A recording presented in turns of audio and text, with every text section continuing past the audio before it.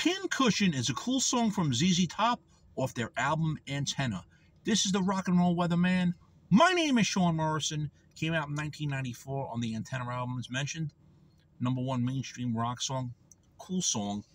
Band has performed it on and off live since 1994. In 2018, they took it out of the set list to replace it with um, Pearl Necklace.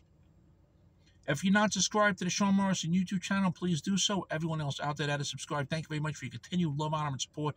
It's greatly appreciated. So give Pincushion a listen from ZZ Top. You will not be disappointed. Gotta love the drums on it. Shame, shame, shame.